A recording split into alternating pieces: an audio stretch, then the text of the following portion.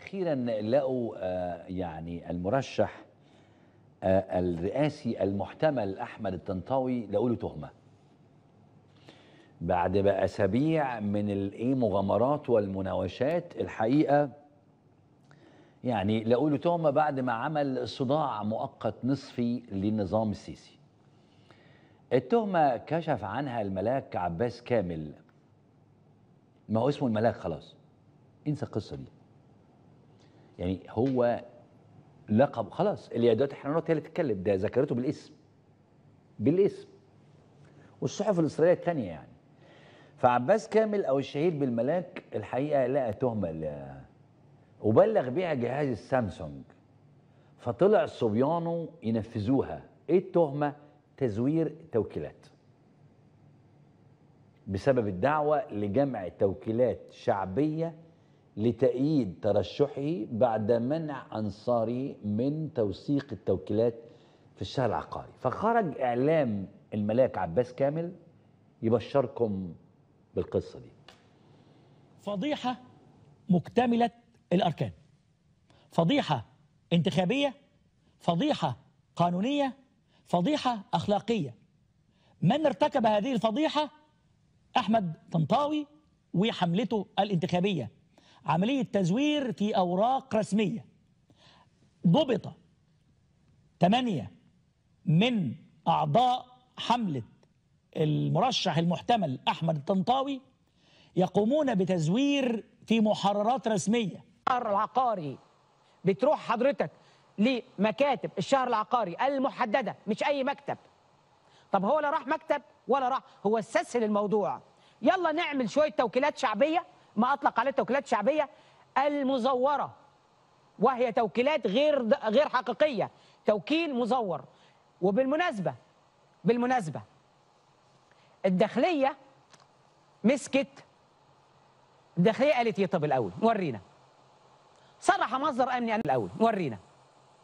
صرح مصدر امني أنه بتاريخ اليوم تم ضبط عدد 8 أشخاص في الإسكندرية الجيزه الفيوم السويس أثناء قيامهم بتحرير توكيلات إيه؟ مزورة. جماعة يعني الناس دي هتتعاقب ولا لأ؟ الناس دي هيتطبق عليها قانون ولا لأ؟ انت بتتكلم في تزوير وخداع لشعب كمان. وتيجي توكيلات مزورة ثم يأتي خطاب يحمل التهديد والوعيد. هتجد بطبيعة الحال أنه الأحزاب السياسية في مصر لم تسكت بل استنكرت. يعني تلاقي أنه آه، آه، الأستاذ هشام عبد العزيز رئيس حزب الإصلاح والنهضة استنكر تماما وبوضوح قيام أنصار المرشح الرئاسي المحتمل. حقيقة هقول لك إيه يعني الكلام على لسان آه، الحزب. أحمد الطنطاوي استنكروا إنه حملة أحمد الطنطاوي بتقوم بتحرير التوكيلات المزورة بالمخالفة للقانون. إذا اجتمعت العرايس الخشبية دي على موضوع واحد فأعرف إن مصدره آه، الملاك. حفيد أو ابن أشرف مروان اللي هو عباس كامل لأنه بص اتوزع. لا ومش بس كده. وطبعا نجيب كمان الجماعة بتوع ال- المشايخ. فيطلع أحمد كريمة يقول تصريح غريب قوي. أحمد كريمة حكم الشرع في تزوير الأوراق الرسمية مش تزوير توكيلات الترشح انتخابات الرئاسة. آه إن استقرأت القرآن الكريم كله لن تجد جريمة مقترنة بجريمة عبادة الأوثان إلا التزوير. عبادة الأوثان رجس واقترن واقترن بها القول الزور والتزوير. فجأة بيحسسني أحمد كريمة إن أبو لهب هيعمل توكيل طنطاوي. والراجل ده يعني من كتر ما استدعوه بقى عامل زي الشلتة القديمة. ال- الشلتة اللي جربت. هات يد الشلتة دي هات يد البتاعة دي. أحمد ما تقعد في حتة يا أحمد يا كريم إيه علاقة اللي أنت بتقوله ده بالقصة دي؟ إيه علاقته بيها؟ بس لازم يتحشر. زي الانبا يوانس في الكنيسة. ما الانبا يوانس ده أي عمل قذر للنظام يجيبوا الانبا يوانس يقنع المسيحيين. وله فيديو النهارده مشهور قوي. هو نفسه. هو بس هنجيله دلوقتي. الطريف بقى في إنه رغم الداخلية قالت إنها قبضت على أعضاء حمله طنطاوي بتهمه تزوير توكيلات لكن التهم اللي توجهت لهم تهم سياسية يعني مش تزوير. بص كده مسؤول الحملة بيقول إيه؟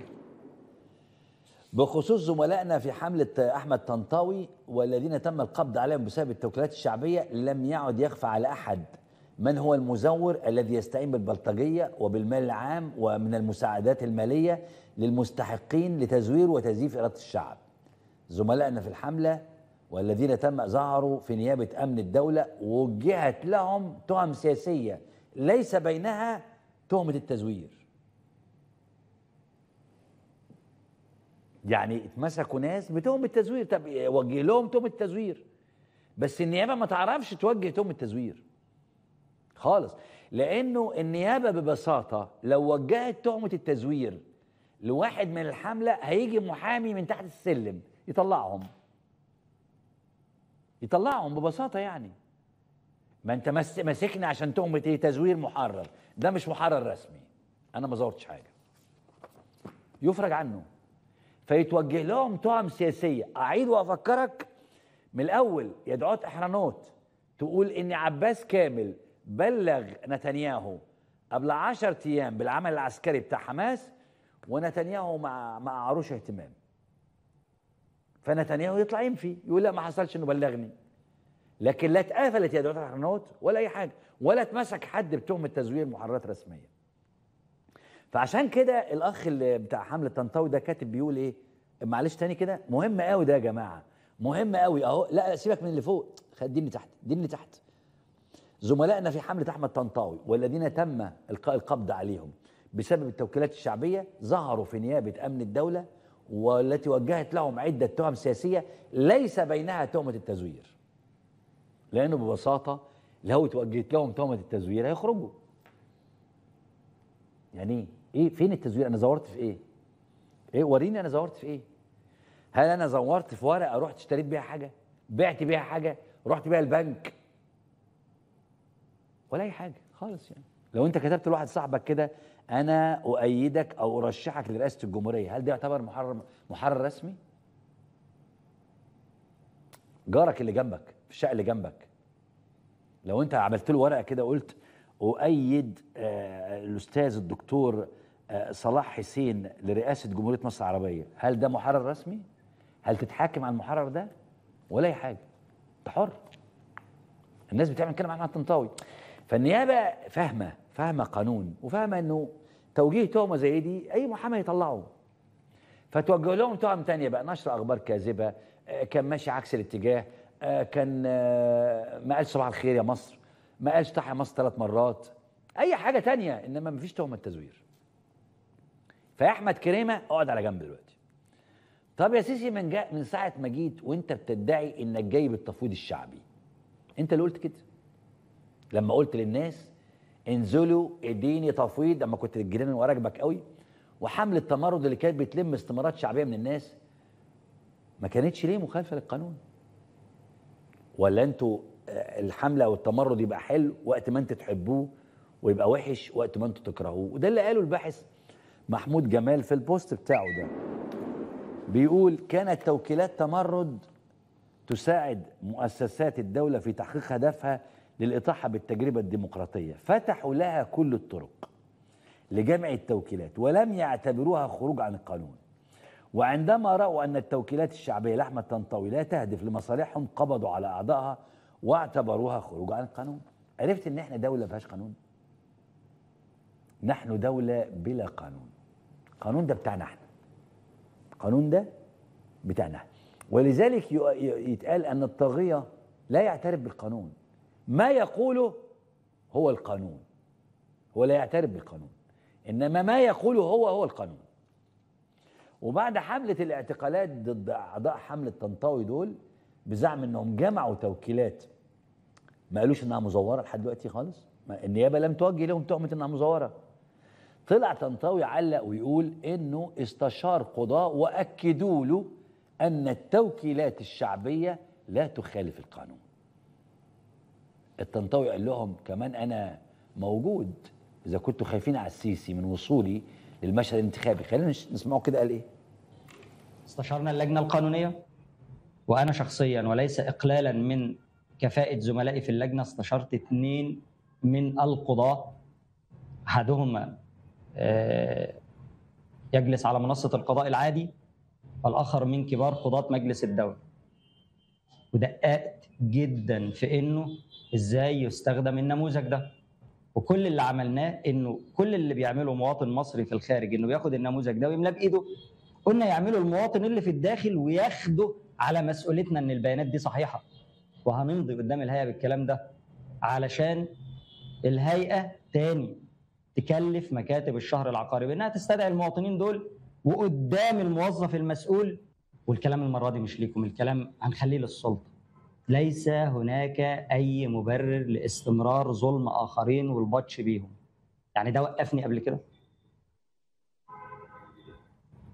إيه اللي هيتعمل تاني فيا أكتر من اللي اتعمل ومين أقرب وأحب؟ أنا موجود. وبكل وضوح إذا أنتوا خايفين على السيد الرئيس من وجودي معاه في السباق الانتخابي فأنا اللي بتمنع اهو الغريب كمان مش الغريب. بالنسبة لي مش الغريب. بالنسبة لناس تانية غريب لكن بالنسبة لي مش غريب. جميلة إسماعيل أعلنت أنها لم تستكمل التوكيلات أو تزكيات النواب واشتكت من منع أنصارها من توثيق توكيلات في الشهر العقاري. أهي بتقول لم أستكمل التوكيلات أو التزكيات النواب وسنقوم بتسليم مذكرة إلى الوطنية للانتخابات حول أساليب منع المؤيدين من دخول الشهر العقاري أنا ليا كلمتين للأستاذة جميلة. أستاذة جميلة إحنا تعودنا إن النظام بتاعنا ما بيقولناش حاجة خالص ما بيحترمش الشعب يعني. لا في طيارة زامبيا ولا في العريش ولا في ال... ولا في أي حاجة. حضرتك برضو ما تعمليش زي النظام. أنت قولي لنا أنت من يومين نشر خبر انك رحتي البرلمان عشان تجيبي توكيلات أو تزكيات من النواب؟ حزب الدستور مين مين مين دول؟ يعني رحت كلمت مين؟ يعني كنت معتمدة على مين لما رحتي البرلمان عشان تكلميهم؟ يعني رحتي لأنهي كتلة أنهي حزب؟ عشان تقولي له يا حزب اديني تزكيات عشان اخد 25 20 تزكية من البرلمان عشان اترشح في الانتخابات. يعني أنا أنا عايز اعرف لنفسي حتى. يعني بجد والله عايز اعرف لنفسي مع كامل وكافة احترامي وتقديري لشخصك. عايز اعرف فعلا انت زي رحت البرلمان هل صحيح حديث الناس خنت ألم تخني؟ هم يعني القصيدة كده يعني. حضرتك رحت البرلمان خبطتي نشر كده في البرلمان تجيبي تزكيات وانت بتقولي أهو إن أنا ما قدرتش أعمل أجيب تزكيات. يعني رحت البرلمان. كلمت مين في البرلمان؟ مستقبل وطن؟ حماة وطن؟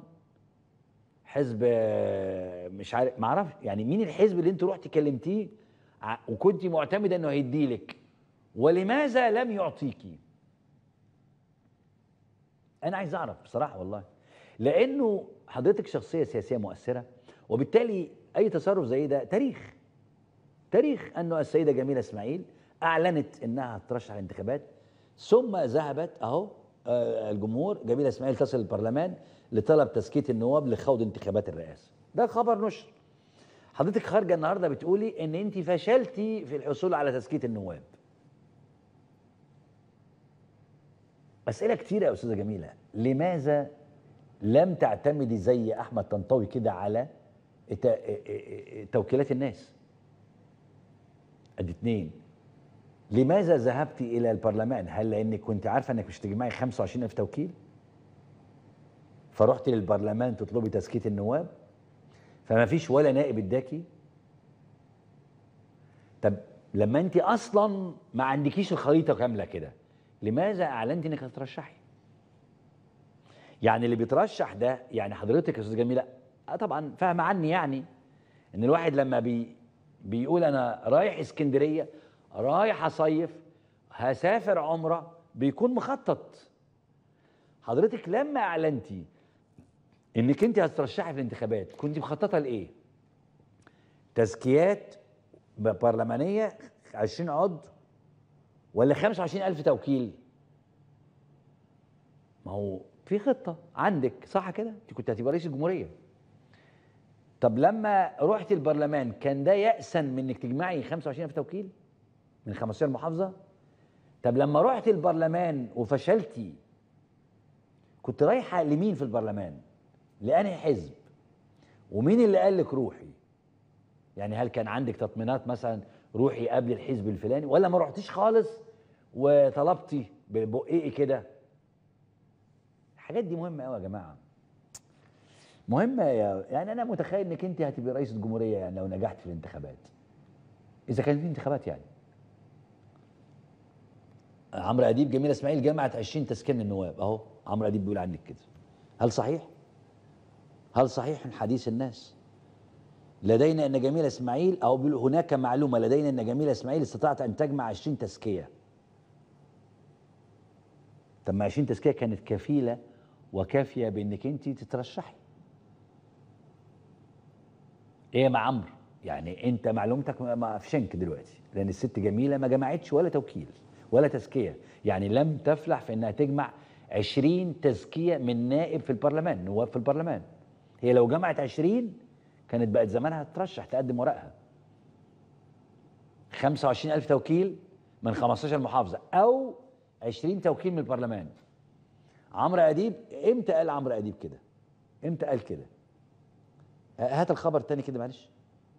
يوم 8 أكتوبر عمرو أديب طلع قال النهارده 10 أكتوبر من يومين وفي باريس برضه وبرج إيفيل وراه منور اهو قال بالنص كده إن جميلة اطلع بقى اطلع. أهو جميلة إسماعيل لدينا م- أن هناك معلومة. لدينا أن جميلة إسماعيل استطاعت أن تجمع 20 تزكية. أو أكثر كمان. هل جمعتي وتراجعوا؟ هل جمعتي 15 تزكية؟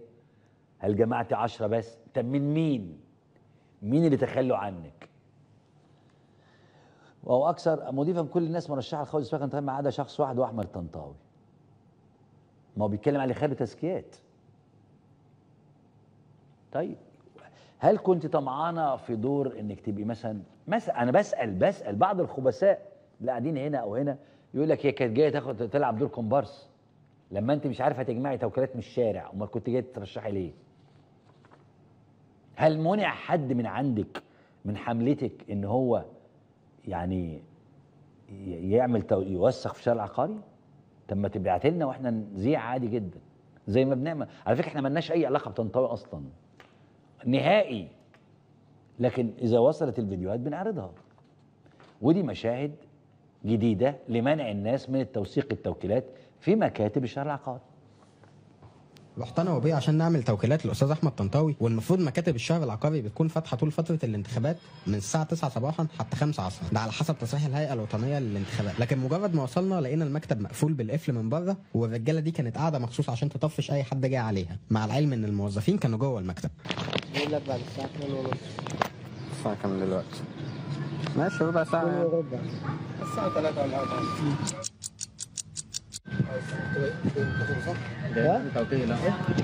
بس مش هشتغل عشان ما نقدرش هنزلنا بعد كده لسه الاستاذ برضه مش هشتغل ليه؟ عشان قلت لك اقعد لسه اشتغل ليه؟ بيت لك من النهاية إحنا اخوات يا بيبي بيبي حالك بكره من بعد يوم السبت التوكيل معنا وسع يوم يعني الأحد. أنا عايز أفهم بس يعني الناس اللي طلعت دي كلها طلعت علشان خاطر ولا ممنوع إن أنا أدخل أعمل توكيل ولا إيه؟ باشا باشا واحد اللي اتفضل أهو والله العظيم اقسم بالله ده المسؤول بتاعك. اهو اقسم بالله يا ربنا. والله. يا حبيبي لما مصطفى بيه يخرج بتدور عليه بره مصطفى. انت وش كده محترم أنا عم مصطفى ده عايز أعمل كده لا ينفع. ولا أقول لك لا. خالص تقعدش أيوه فين بقى مصطفى بيه ده؟ فقال لي تعالى كلم الظابط. بعض وطلعت كلمت الظابط بيقول لي شغال إيه يا احمد؟ قلت شغال تاجر منين ومش منين والكلام ده. فطبعا آه لقي إني ما فيش حاجة يعني امور تمام قال لي بتتكلم في إيه يعني؟ قلت له مش بتكلم في حاجة في الحياة العاديه جاء من توكيل لمين قلت له احمد مطاوي قال لي طيب تمام. طب روح وخد هذا. بعدها بشوية جاني واحد جاء تعمل توكيل لمين قلت له احمد طنطاوي قال لي طب تعالى عاوز خد آه، طلعت معاه بره السامر. قال لي خد آه، بطاقتك آه، وتوكل على الله من هنا لأنه شوية كده هي- هيحصل نو- نوش هيحصل لبش. الحركة المدنية دخلت على الخط وطلبت بإنهاء حصار مكاتب الشهر العقاري زي ما بتقول الحركة كده في كلام مهم جدا. الحركة المدنية تعرب عن اندهاشها آه، يعني الحقيقة من آه، اتهام حملة المرشح المحتمل طنطاوي بتزوير التوكيلات. النهارده أحمد طنطاوي قرر إنه يروح لمقر هيئة الانتخابات وخد معاه وفد من السياسيين والقانونيين لكن رفضوا يدخلوا يدخل معاه الوفد. وقالوا له إن الد- ادخل أنت بس وأدي الكلام أهو اتفضل. لا لا لا أنا مش موافق على الكلام ده لا لا معلش شوف أنا مش موافق على الكلام ده اللجنه كلها أنا مش من بيصورنا إحنا لاعب بعض مش هدخل من لعب بعض. أنا مش هدخل كده هتخش معاك حد خد الأستاذ عبد الجليل مصطفى معاك. مش هدخل من غيركم وهرجع وهقول إن هو رجع رؤساء احزاب ورجع عمد البلد كل واحد بعد إذنكم عشان اللجنة بس كده عشان ما حدش يدخل علينا ممكن. يا فندم يا فندم. بلغوا بلغوا أنا مش هدخل من غش اطلع أنت فوق وقول له أنا معايا كذا وكذا. أنت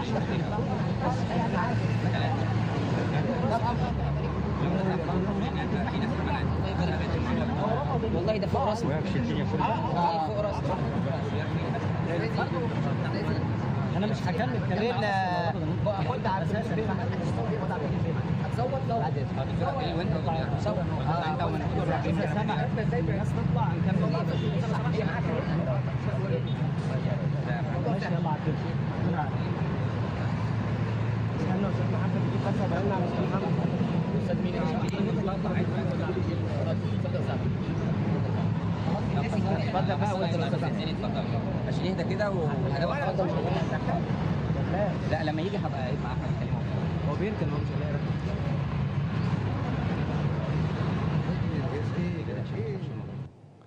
طب أنا مش فاهم بصراحة يعني الناس رفضت تدخل معاه ليه؟ يعني أنا مش فاهمه فعلا. ناس رايح وفد رايح معاه. هات الفيديو نقوله كده وفد. بص هم. طب ليه هم رفضوا يدخلوا معاه؟ ليه؟ بص هو حتى مكشر قوي وبيقول له لا مش هدخل غير أنتوا معايا. يعني هو متمسك بيهم. ليه عمالين يقولوا خش انت؟ هو ما دي مش عزومة غدا. يعني يعني ليه رافضين؟ أنا مش قادر أفهم. أنتوا رايحين معاه طالعين معاه بعربياتكم ووصلتوا للتحرير ووسط البلد والحاجات دي وهم واقفين معاه اهو وبيقولوا لا مش هنخش معاك. والراجل التاني يقول له طب سيبوني أنا أتكلم معاه. خش انت وإحنا وراك. وادي التاني أبو نضارة دخل في الموضوع وقال له معلش ليه؟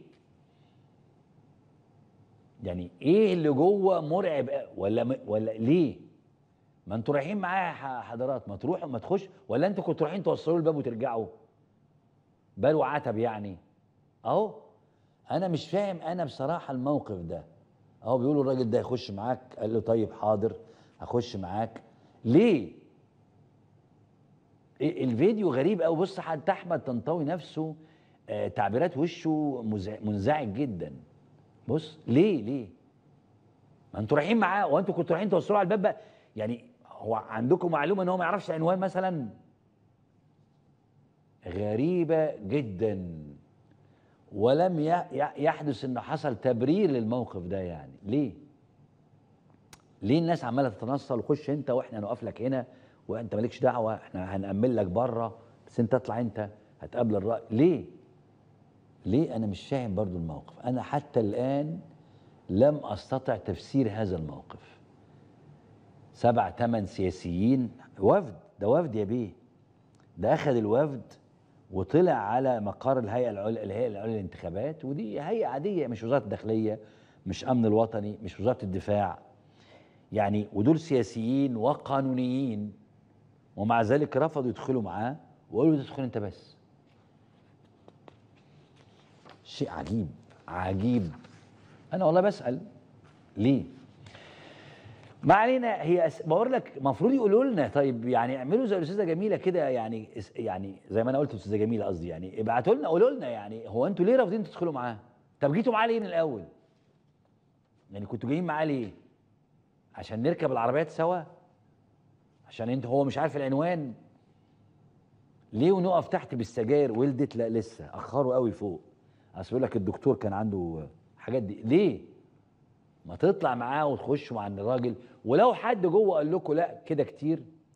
ناس ترجع إنما ناس كده تقول لا لا اطلع أنت اطلع أنت. ماشي أنا كعب رجلي وجعني. في حاجات في مصر غريبة جدا جدا. والله جدا.